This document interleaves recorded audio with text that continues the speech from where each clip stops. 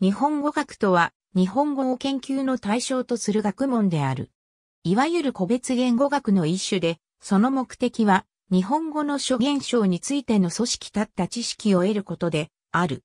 そのため、日本語に熟達し、自由に理解して使用するための実用的な学習とは、大いに異なる。日本語学を専攻する学者を日本語学者という。また、国語学という語もある。ニュートラルな表現である日本語学への移行という全体的な緩やかな方向性はあるが、一方で、例えば関連分野である言語教育において、国語教育と日本語教育という表現は使い分けられており、それぞれの語の印象まで含めれば必ずしも同一視できるものでもない。日本国で中学校及び高等学校、国語の免許を取得する際、教育職員免許法施行規則第4条及び第5条に基づいて、規定単位数以上履修する必要がある科目の一種として、国語学が設けられている。この場合、音声言語及び文章表現に関するものを含む。日本語学は近世において、国学の一分野として、業績を残した。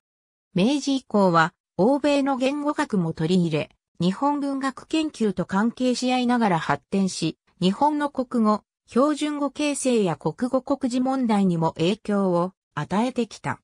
1948年に国語学会が結成されたが、日本語研究を取り巻く環境の変化から2004年に日本語学会に解消された。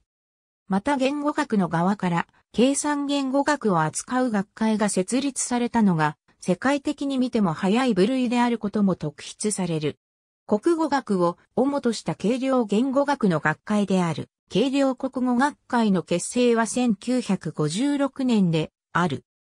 日本語学と国語学は同義に扱われることが多いが、大阪大学文学部などでは別の研究室にあり、日本語学は現代日本語を中心とした教授的言語学的研究、国語学は古代から近世までの古い日本語を文献学的、通じ的に研究するものとしている。